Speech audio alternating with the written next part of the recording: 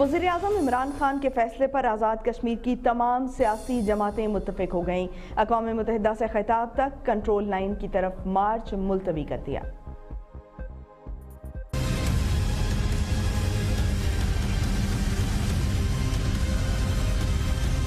وزیر اعظم آزاد کشمیر فاروق حیدر کی زیر صدارت آزاد کشمیر کی سیاسی جماعتوں نے وزیر اعظم عمران خان کے اقوام متحدہ سے خطاب تک ایل او سی کی طرف مارچ نہ کرنے کے وزیر اعظم پاکستان کے فیصلے کو تسلیم کر لیا۔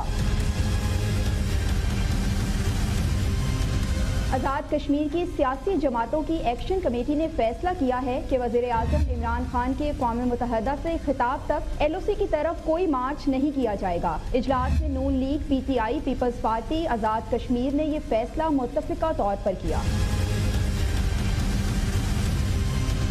اعلامیہ کے مطابق مقبوضہ کشمیر میں بھارتی مظالم کے خلاف شہر شہر مشترکہ پر امن احتجاج کیا جائے گا اور احتجاجی تحریک کو حتمی شکل دینے کے لیے وزیر اطلاعات کی زیر نگرانی کمیٹی قائم کی گئی۔